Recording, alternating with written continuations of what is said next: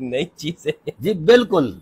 अच्छा। ये जितने भी अहले सुन्नत के हाँ, हमारे अकाबरीन हैं मुहदसिन हैं मुफसरीन हैं सीरत निगार हैं मर्रखीन हैं इल्म के जिस दर्जे में मुतकलमीन भी हम्म, इन सबको राफजियत के खजानों से फैज मिला है वो भी इल्म का और दीन का। अच्छा। हाँ जी। ये मैंने इसीलिए तहकीक की है ये दो जिल्दों के अंदर मेरी किताब है सिहा सित्ता के रुवात पर मैंने जायज़ा लिया है किबला। बुखारी मुस्लिम निसाई तिरमजी अबू दाऊद और इबन माजा वगैरह इनमें सोलह हज़ार अहादीस ऐसी हैं जिनके रावी राफजी हैं और गाली शिया हैं। अल्लाह ये फैज लिया है इन बेदीनों से दीन वालों ने। बेदीनों से दीन लेकर फिर उनको बेदीनों का जनाब बेदीन होने का ताना दे रहे हैं।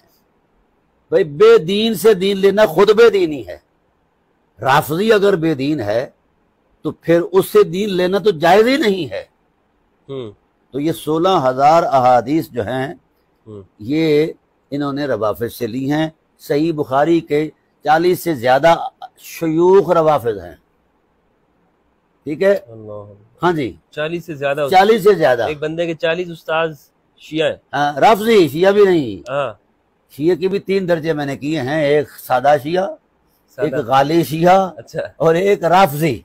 टॉप क्लास का। हाँ और फिर टॉप क्लास में राफजी है और राफजी की भी उन्नीस किस्में हैं। वो सारी मैंने असमा रिजाल की किताबों से निकाली सारे इन बुखारी मुस्लिम में मौजूद है। सब बुखारी मुस्लिम में मौजूद हैं। इनके उस्ताद हैं। इनके उस्ताद हैं शयूख हैं। और इमाम जहाबी रहमान ने तो यहाँ तक कह दिया। हम्म। यानी वो दयानतदार लोग थे ना मुहक्किक थे मौलवी नहीं थे। हम्म। अच्छा। हाँ ये ये एक फ़र्क है मौलवी में और लोग में एक फ़र्क है हाँ। क्योंकि मौलवी जो है वो सुनी सुनाई पर ठा कर देता है। मुहक्किक जो है वो तोड़ पहुँच कर बात करता है। हम्म। इमाम जहाबी कहते हैं कि ये लिखा हुआ है हम्म। कि फहादा कसीर फ़िताबीन व ताबीही मादीन बलवर व सिद्क फलरुद्द हदीस हाउला हाउला ज़हबा जुमरत मिन अल-आसार नबुवत व हाज़ी मुफसलतुन बय्यिनतुन ये जो रवाफिज हैं ये जो शिया हैं गाली हैं या सादा शिया हैं यानी माठे शिया कुछ तेज शिया कुछ अपालो शिया है जी इनकी भी तो नस्लें हैं ना जी। हम्म। वो कहते हैं कि अगर इनको हदीस की सनद में कबूल ना किया जाए या इनकी रिवायात को कबूल ना किया जाए तो रुए ज़मीन पर रसूलुल्लाह की हदीस किसी को नहीं मिलेगी। अब सोलह हज़ार अहादीस जो हैं ये सिर्फ़ सिहा सियासता की रवाफिज की खैरात है, शीयों की खैरात है। गाली शिया हैं या सादा शिया हैं, मैंने हर एक का अलग से रिकॉर्ड दे दिया है, उसका पहले तशखस बयान किया है और बितरतीब फिर उस पर उलमा अहल सुन्नत की आरा पेश की हैं कि वो अगर राफजी है तो किस दर्जे का है, शिया है तो कौन सी नस्ल का है। ये सारी चीज़ें मैंने बयान करके फिर किस किस रावी की हदीस के किस मस्तर में कितनी रिवायतें हैं? वो बयान की हैं। फिर उसके बाद मैंने दूसरी जिल्द के अंदर भी हमदुल्ला ताला किबला मुफ्ती साहब मैंने वो तमाम रिवायात निकाल कर रख दी हैं। हम्म। ये सोलह हज़ार अहादीस का रिकॉर्ड है। हाँ एक कॉलम के अंदर उसका नाम है रावी का। इनके पास कुछ नहीं बचा फिर? बचे ना बचे दो ही बातें हैं। अब आइए उसूल की तरफ़। हम्म।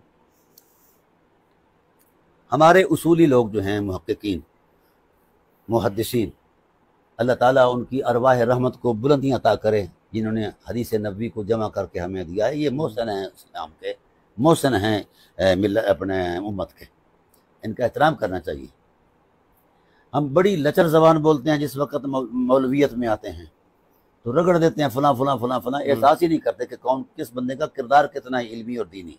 एहतराम करना चाहिए। वैसे भी खुलकी एतबार से हर छोटे से छोटे बंदे का भी एहतराम होना चाहिए बड़े से बंदे बंदा का भी एहतराम होना चाहिए।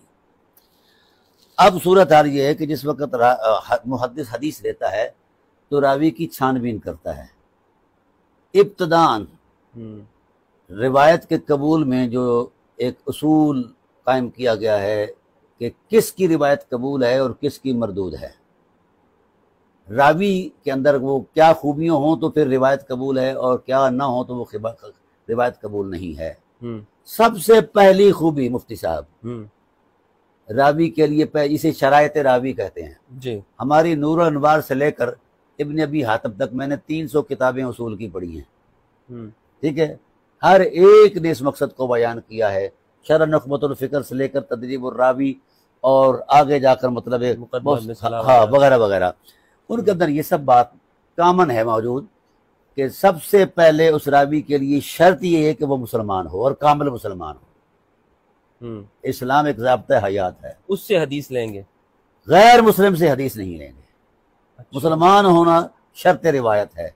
जो मुसलमान होगा वही अथॉरिटी रखता है कि वो हदीस रसूल बयान करे क्योंकि इस्लाम दीन फितरत है इस्लाम अपनाने वाला झूठ नहीं बोलता। इसलिए इस्लाम के टाइटल पर उसकी सच्चाई पर यकीन करते हुए उससे हदीस ली जाती है कि जो आम मामलात में भी झूठ नहीं बोलता ये हदीस ज़ात रसूल पर झूठ कैसे बोलेगा? क्योंकि ज़ात रसूल ने ये कानून बना दिया है कि जो शख्स मेरी तरफ़ ऐसी बात मंसूब करे जो मैंने नहीं की यानी हदीस घड़े फल ये तबा मकादा फिन्नार फिर वो अपना ठिकाना जहन्नम में बनाए। हम्म, इस उसूल के तहत मुहदसिन ने और मुहक्किकीन ने यह तय किया है कि रावी वही हो सकता है जिसके अंदर ये पहली शर्त मौजूद हो कि वो मुसलमान हो। तो गोया इस एतबार से इन तमाम रवाफिज को मुहदसिन अहल सुन्नत ने मुफसरीन अहल सुन्नत ने, मुहक्किकीन अहल सुन्नत ने अव्वलन मुसलमान माना है। डरामा तो ये है मुफ्ती साहब, अकाबिर जो हैं, इनको मुसलमान कह रहे हैं। इस हालत में भी मुसलमान कह रहे हैं। और ये मौलवी साहबान इसको गाली बनाकर अहले बैत के मुहिबीन से कहते हैं कि जनाब वाला ये राफजी हो गया है। हम्म, ये दीन नहीं है ये ड्रामाबाजी है। दूसरी शर्त यह है कि वो आदिल हो। उसके अखलाक में इतनी मुरवत हो कि कभी रास्ते में बैठकर वो पेशाब करने वाला भी ना हो ये एहतियात है। हम्म, और फिर कबीरा से वो मुकम्मल इज्तनाब उसने किया हुआ हो सगैर पर इसरार ना करता हो। उसके अखलाक की हरमत इतनी हो कि उसके वजूद से अखलाक की खुशबू आती हो। क्यों? हदीस रसूल का मकाम यही है कि वो उस रास्ते से आए जो रास्ते पाकिज़ा हैं अखलाक के अतबार से और फिर तीसरी शर्त जो है आकिल होना उसका अकल भी कामिल हो। मातुबा से या जनाब वाला फातिल अकल से मजनून से सिब्बी से जो छोटा है बिल्कुल उससे इसलिए नहीं लेते कि वो हदीस समझने का फाहम ही नहीं रखता। कामिल अकल होना हदीस के फाहम के लिए ज़रूरी है। हम्म, ठीक है ये भी शर्त रिवायत है तीन हो गई। यानी पहली शर्त इस्लाम, दूसरी शर्त अकल, तीसरी शर्त अदालत, चौथी शर्त वो जाबित हो, तामुजब्त हो कि एक एक हर्फ को कामिलन सुना हो, उसकी हयात तरकीबिया को जानता हो, फाहम रखता हो, उसके मजमून को, मफहूम को, वो महफूज रखता हो, फिर असलन उस पर यानी जो असूली शर्त लगाई कि जब से उसने सुनी है हदीस, अदाए रिवायत तक, यानी आगे कन्वे करने तक खा वो सौ साल का अरसा गुजर गया है। एक लम्हा के लिए भी उस हदीस के खिलाफ उसने ज़िंदगी में कभी अमल ना किया हो।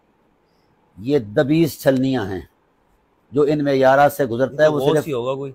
हाँ वही अर्ज़ कर रहा हूँ जो इन मैार से गुजरता है वो तो गौस कुतुब अब्दाल होता है। बहुत बड़ी शख्सियत है उसकी रूहानी क्योंकि ये सारे मामूलात बहुत बड़ी अजमत कि है उसने ज़िंदगी में कभी कबीरा ना किया हो हाँ और और सगायर पर इसरार ना करता हो। अल्लाह का वली है भाई। अजीब अली है।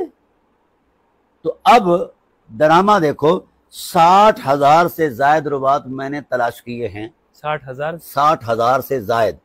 हमारे जो कुतुब तफसीर हैं उसके अंदर जो रुबात हैं कुतुब सीरत जो हैं उसके अंदर भी हैं कुतुब तारीख के अंदर भी जो रुबात हैं वो सारे राफजियाँ शिया हैं। साठ हज़ार? साठ हज़ार से जायद। ये तो अभी जो जायज़ा मेरे सामने पड़ा है ये तो सिर्फ़ सियासता का जायज़ा है। और ये हमारे फुकहा, हमारे महक्कीन तो इनको हदीस की किताबें नहीं मानते, वो कहते हैं, ये फ़िक शाफी पर लिखा हुआ एक मुरतब मजमुआ है और उनकी फ़िका पर दिए गए दलाइल हैं। मान लिया कि ये हदीस ही है क्योंकि हम पढ़ते पढ़ाते हैं, हदीस की किताबें मानते हैं, लेकिन इनमें सोलह हज़ार अहादीस ऐसी हैं जो रवाफिज से आई हैं। अब अगर राफजियत कोई पलीदी है तो ये सोलह, ये यानी फिर फिर वो सियासत सारी पलीद हो गई। अब मैं इन गयूर मुफ्तियों से कहूँगा जो बड़े बाजू लहरा लहरा कर जनाब वाला मुहिबान अहले बैत नमूत पर बरसते हैं कभी राफजी करते हैं पहले ये गाली देते थे तफसीली होने की। हम्म, तो वो बर्दाश्त कर ली गई। तो कोई मसला नहीं कोई फजीलत अली का कायल है। हम्म, फिर वहाँ इनका ठहराव नहीं हुआ। फिर इन्होंने गाली को मजीद सख्त किया तफसीली को फिर शिया कह दिया। फिर मजीद किसी की मोहब्बत देखी तो कहा ये शिया भी नहीं गाली शिया है। अब इनकी जो सुपरलेटिव डिग्री है वो राफजी है। ठीक है? तो हमारे पेश करदा बयान करदा तारीफात कदर रिफत के मामले में कोई ऐसी दलालत न लफ्जी है न मानवी है ना कोई तारीखी ऐसी सूरत है कि जो असाब रसूल को गाली गलोच देता है वो शिया है या राफी है ऐसा नहीं है। हमारे उलमा नहीं मानते। जो शिया इस माने में तो फिर अच्छा काम हो गया वो जब अल्लाह के वलियों से इन्होंने जी मैंने पहले ही आपसे कहा था कि इन्होंने रवाफिज से फैज लिया है। रवाफिज इनके मुर्शिद हैं मौलवियों के। अब अगर इनके अंदर गैरत है तो सियासता पढ़नी छोड़ दें। हम्म, पढ़ानी छोड़ दें। क्यों? कि इनके नुक्ते नज़र के मुताबिक राफजियत एक पलीदी है बिल्कुल ठीक है? तो पलीद बंदे से पाकी का तो कोई तस्वरी काम नहीं कर सकता। तो फिर रसूल ले रहे हाँ। अगर इनमें मजीद गैरत है तो कम अज कम ये सियासता ही पाक कर लें। या तो ये रिवायात निकाल दें। और मुफ्ती साहब हैरत वाली बात यह है कि जितनी रिवायात मैंने नकल की हैं वो सारी मामूल बिहा हैं जिन पर हनफियत शाफियत मालिकियत का मदार है। अब ये चारों मजाहिब चैलेंज हो गए हैं। हम्म, अगर राफजियत को हम काफिर कहते हैं तो भाई बदलना होगा अपने आप को। या तो इनको गले से लगाना होगा या दिल से निकाल जहन से निकालना होगा और हदीसों से या तो से हाथ उठाना होगा। हाँ बिल्कुल। सियासता से तो ये तो 200 या रावी है को काफिर कहने से चुप ये। तो 200 तकरीबन रावी है ना जी। हम्म, सिहा के अलावा जो अहादीस हैं यानी सिता तो सिहा सिर्फ़ सत्तर किताबें पढ़ाई जाती हैं हम्म, पचास से ज़्यादा सिहा हैं। उनमें न जाने कितने हैं। फिर माजीम हैं मसानीद हैं फिर कई असनाफ कुतुब हैं जिन पर लाखों हदीस का जखीरा है और उनमें ये सारे मौजूद हैं। हम्म, ठीक है? तो मौला कायनात से कल्बी ताल्लुक जो है लगाव जो है शगफ जो है या उनकी ज़ात में खो जाना जो है या उनके साथ सरशार होना है उनके ज़िक्र फ़िक्र से ये ये मज़हब से तल्लक नहीं रखता ये तो फितरत से तल्लक रखता है। और इस टाइटल पर सबसे पहला इमाम राफजियों का। हम्म, सबसे पहला इमाम शियों का जो मौला कायनात को इस टाइटल पर देखता है सबसे मुकदम समझता है उसे अब्दुल्ला इब्ने मसूद फ़कीह उम्मत कहते हैं। और उनकी जमात है पूरी सहाबा की।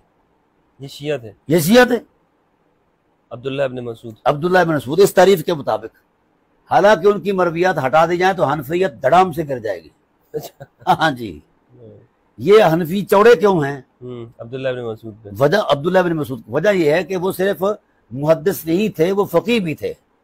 तो जबता ये बनाया गया है कि अगर फ़कीह और गैर फ़कीह हम्म, की रिवायात में तारस पैदा हो जाए तो तरजीह फ़कीह की रिवायत को क्योंकि फ़कीह का फ़हम ज़्यादा होता है आम रावी से। ये जबता हमारे उसूल फ़िक का। तो मेरी जान, अब अब्दुल्ला बिन मसूद जो है, वो सबसे बड़े तफजीली थे। अब उनके पीछे पड़ी गई नमाजें किधर गई? उनकी तरीकत किधर गई? मुफ्ती मुनीबुर रहमान साहब के फतवे के मुताबिक तरीकत मरदूद, शरीयत मरदूद, नमाजें दोहराए। आला हज़रत ताला अलैह के इतने इतने लंबे फतवे हैं। तो भाई दयानत इल्मी कुछ और है, मजहबी तराश खराश कुछ और है। तो अब इनको चाहिए इंसाफ का दामन लें। तो अपने उस्तादों से यानी हैरत है ये मैंने रिकॉर्ड दिया है पूरा। कितने शयूख रवाफिज बुखारी के कितने हैं हम्म, दीगर कुतुब के कितने हैं? ताजुब इस बात पर है। अगर ये लोग खबीस थे पलीद थे और इनकी निशानदी की भी गई है शताम राफजी खबीस राफीजी जायग राफजी फला फला बावजूद इन चीज़ों के भी इनसे जनाबला रिवायतें ली गई हैं इलम लिया गया है दीन लिया गया है। तो भाई अब दो बातों में एक बात ज़रूर है। या तो ये हदीसें निकाल कर फेंक दें या सियासता जला दें या ये रावी निकाल कर किराए पर रावी ले आए मैं मान लूँगा। कहाँ से लाएँगे ये? हाँ जी यानी अखबार इश्तेहार दे दें हाँ, ये हमारे खताई भाई या जितने जिनको आजकल बड़ी तकलीफ़ है राफजी राफजी की रट लगाते हैं ढोल बजाते हैं हम्म, और हर एक हमारे बड़े बड़े बुज़ुर्गों के साथ इन्होंने बदमाशियाँ की हैं। सैयद रियाज अहमद शाह साहब जिन्होंने अहले सुन्नत में तीस साल गुजारे हैं और एक शनाख्त दी। मौलाना डॉक्टर तहलुल कादरी साहब जिन्होंने रूबे ज़मीन पर अहले सुन्नत का कटा हुआ नाक लगाया। सैयद अब्दुल कादरी शाह साहब सैयद इरफान मशहदी साहब सैयद मुनवर हुसैन शाह साहब हम्म, और शेखुल इस्लाम किबला सैयद पीर अनवर हुसैन शाह साहब सिदरा शरीफ वाले जिनके लाखों करोड़ों मुरीद हैं और वो वाबस्ता हैं अहले सुन्नत से। उनकी तबलीग और तलकीन ये होते कि मैं सुन्नी हूँ, हनफी हूँ, फला हूँ फला हूँ फला। यानी ये चीज़ें मुरीद करते वक्त ये मैंने हज़ारों मरतबा ये देखा है।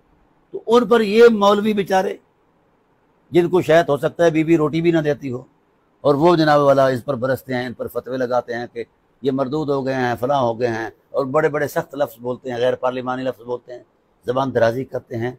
ये वही तसलसल है, मैंने किताब में लिखा है कि उस वक़्त के पहले बैत को उस वक़्त के उम्मी गुंडे जो थे, वो गाली गलोच करते थे। और इस वक़्त के अपने अहल बैत को आज के जो उम्मी गुंडे हैं या उनके जो रेजा खार हैं, वो गाली गलोच करते हैं।